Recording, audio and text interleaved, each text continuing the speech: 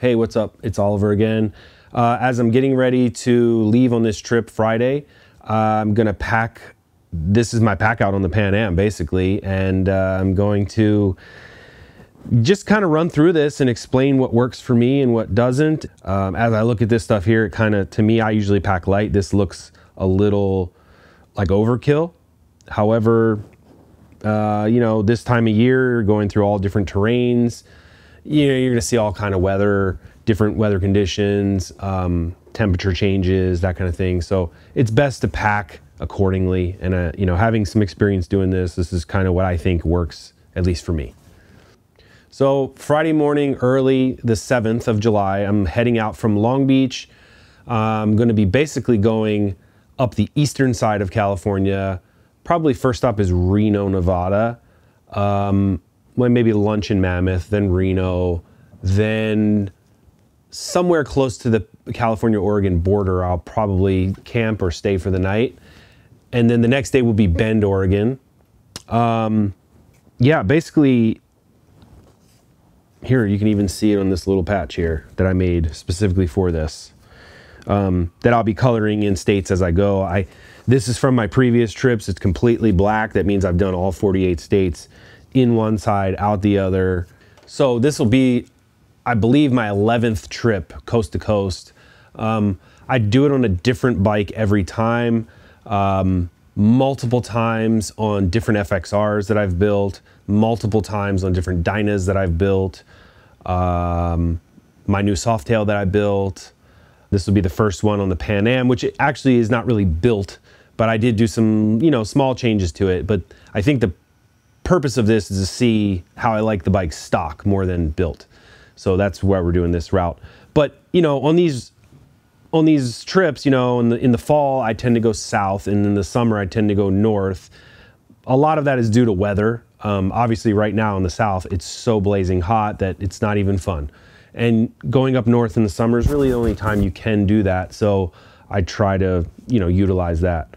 But I mean, you will see every bit of weather imaginable. I mean, you you know, I've I've I've ridden through 110 plus days, and then I've ridden through 40 degree nights uh, in the same day or whatever.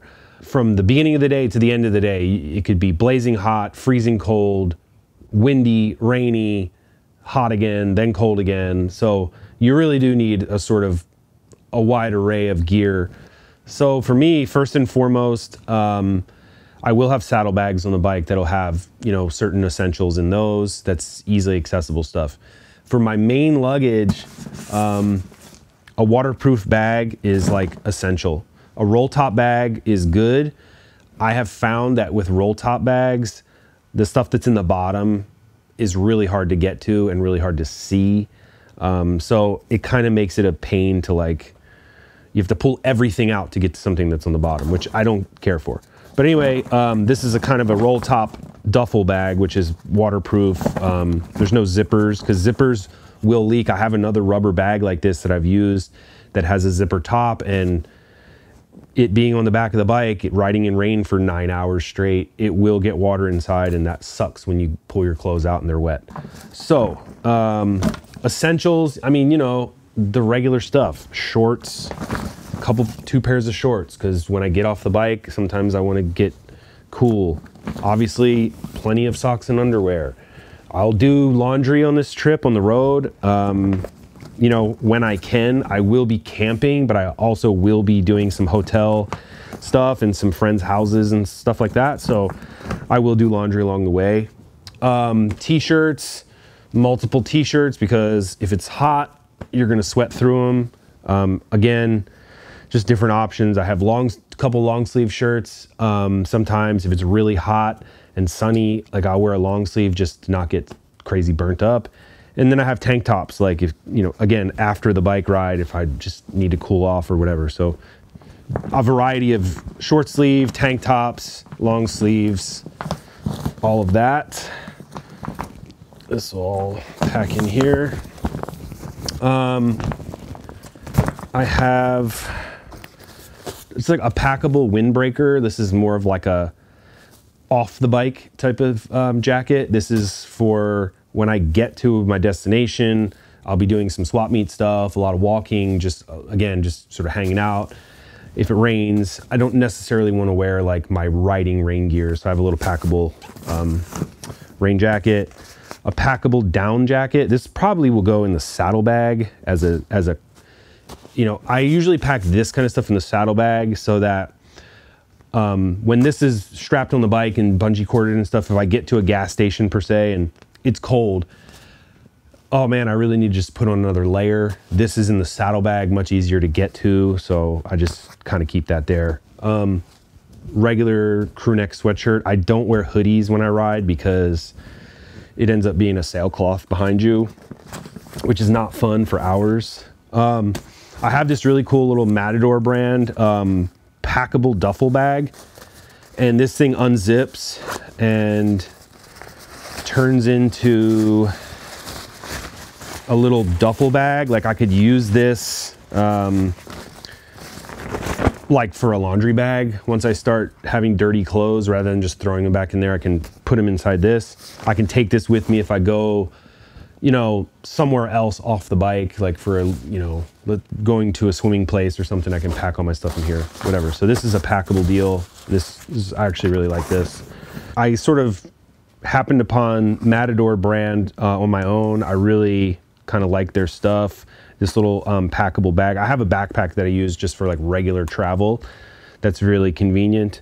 Um, this little thing is actually, they come in packs of threes and um, it's a refillable like pouch. And uh, I've got sunscreen in this and you can write on here sunscreen, SPF, you could put shampoo, kind of whatever liquid stuff in here you want. It's got a snap so you could like hang it. You could put it off your belt if you were like at an event all day and you just wanted sunscreen. You don't have to have a giant like Hawaiian Tropic plastic bottle sticking out of your pocket all day.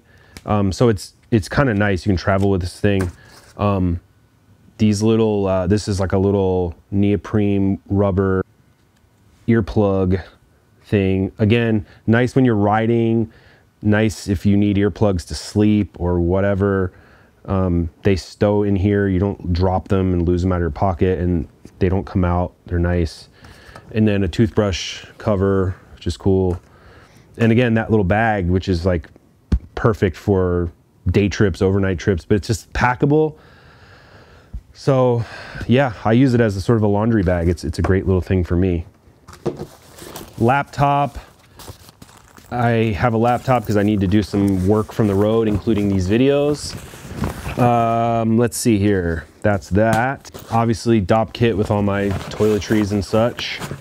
Um, I have this stuff is mostly going to go in the saddlebags and quick access stuff, but you know, like head headlamps that I use for swap meets, if when it's dark or if I need to do any roadside repairs, I have that. Leatherman, a knife, um, you know, earplugs, earbuds, whatever, that kind of stuff. Normal stuff. Rain gear is like super important. Um, I use this Harley rain gear because I've I've had other stuff and this stuff's pretty good and it's packable. I mean, this is pants and a jacket in this thing. You could this will even go smaller, um, so you could put this like you know on a sissy bar or in a, even on your handlebars if that's all you had. But um, I keep this in the saddlebag because this is like the number one thing that you need quick access to, in my opinion. I've always put this on the right side of the bike saddlebag because when you put on the kickstand, the bike leans over. This is the most accessible piece that I'm gonna want. So I don't want this on the low side saddlebag. It just, I have to get down low and it's harder to get to. Because a lot of times you ride and out of nowhere, it starts pouring down rain. You gotta like pull over real quick, get dressed real quick. So that's that. Um, I have a riding vest that I wear, kind of again, depending on weather, but I can wear this with short sleeves. I can wear this with long sleeves. I can wear this over something. It's a good wind buffer. Um, and it's tough. You know, I mean, it's just, it's just a nice riding vest. This is MB Leathers. Um, my buddy Mario makes these custom. Uh, let's see here. This is all going on the bike, not in this bag, but hammock um, because if I camp, you know, sometimes just having a hammock is nice. Um, it doesn't take up a lot of space. I have personal dome tent, you know, two person deal that I've had forever. This thing's needs to be replaced soon. It's seen a lot of camping.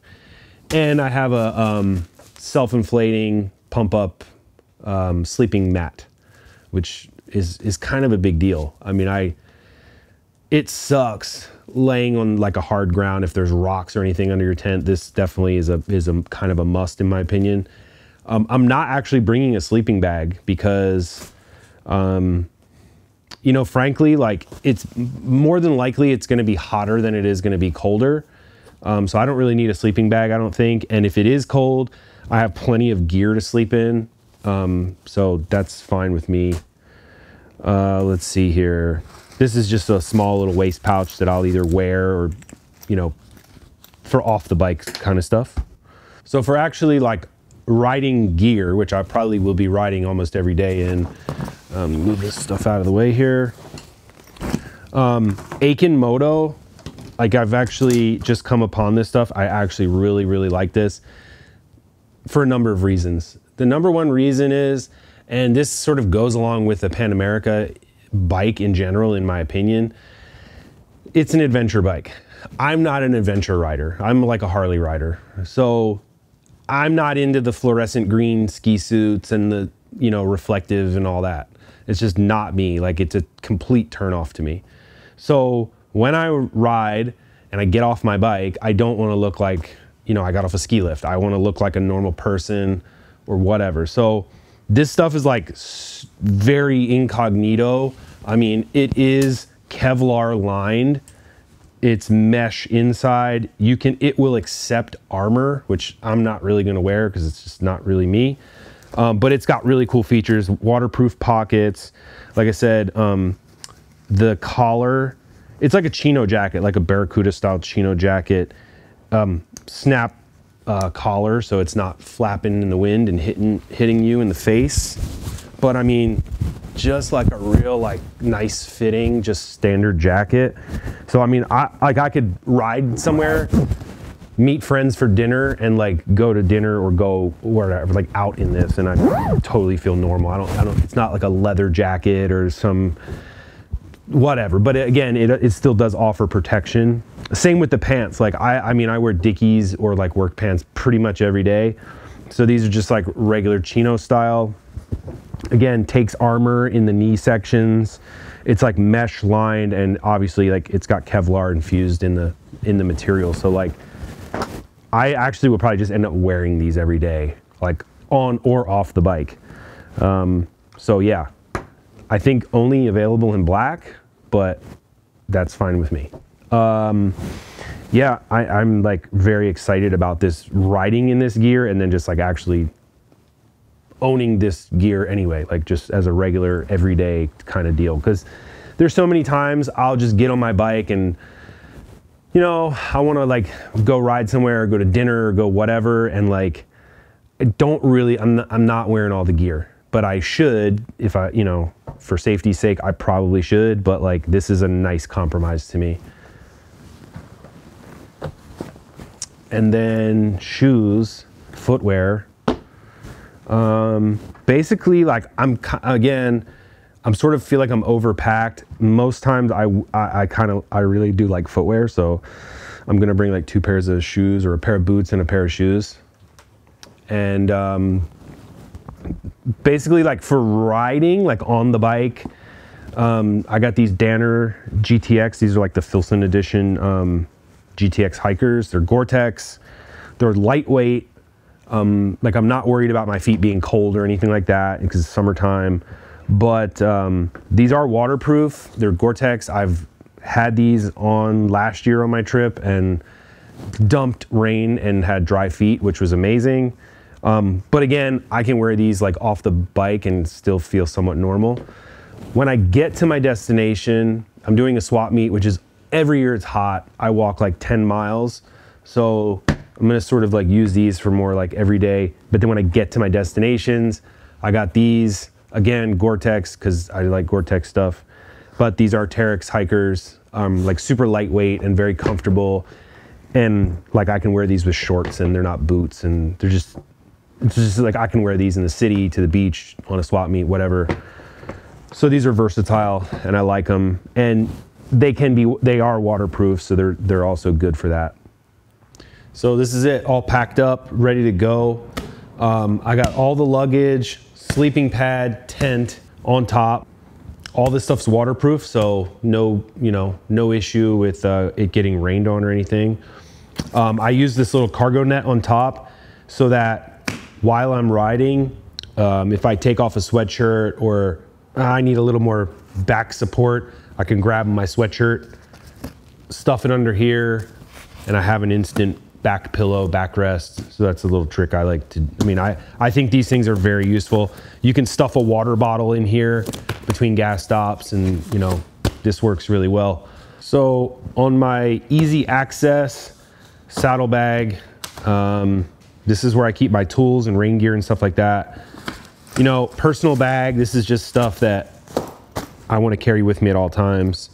Um, I got this Lexan uh, air pump because like last year I got a flat tire. I got like a nail in my tire. I did have a plug kit with me, but it was like a more of a bicycle small tire thing. Get a get a full size one with these kind of tires. So yeah, plug kit and air. So if you're, you know, if you're jammed up, you're good. Um, I keep a spare set of gloves just in case. Um, a voltmeter I keep on me because especially with newer electrical bikes, like you can diagnose like is your bike not charging? You can diagnose it. Is there something that's disconnected? You can diagnose with this if you know what you're doing. Um, i got the harley toolkit in here. Um, this basically is like their i think it's their toolkit for the pan am. And so it has some kind of pan am specific stuff. Every bolt on here is torx so there is a Torx socket set in here and you can connect it with this little socket wrench. There's like wire if you need to like string something up. There's even tape like yeah, for off-road stuff if you crack some plastics or something. Um, again, I'm like on road. To be honest, like the dealer network of Harley is so ridiculous that there's a dealership like close basically wherever you are um, which is a really nice thing, especially on these kind of newer bikes that they do work on. Um, and also, you know, I've found um, in my travels that the friend network is sometimes the best thing. I mean, you can only pack so many tools.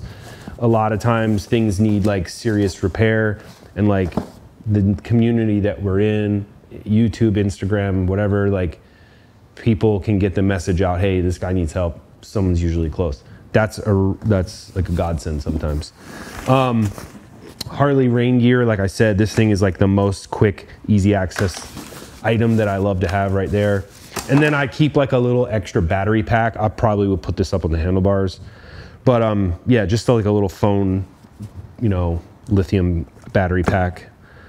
Um, but yeah, all this stuff fits in here, no problem. I'm gonna probably take all this out of the packaging before I leave, but uh, yeah, you get the idea. This stuff, I mean, I still have tons of room to spare in here.